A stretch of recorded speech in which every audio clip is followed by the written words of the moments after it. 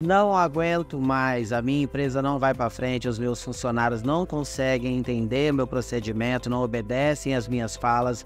O que fazer, Alexandre? Essa é uma das perguntas que eu mais recebo. É hora de você mandar todos embora e recontratar a sua equipe. Buscando novas energias, buscando um time completo e que tenha mais é, condição, principalmente de ânimo e conhecimento, para ajudar de novo a sua empresa voltar a crescer e voltar para o eixo. Você que está com essa situação, é hora de você começar.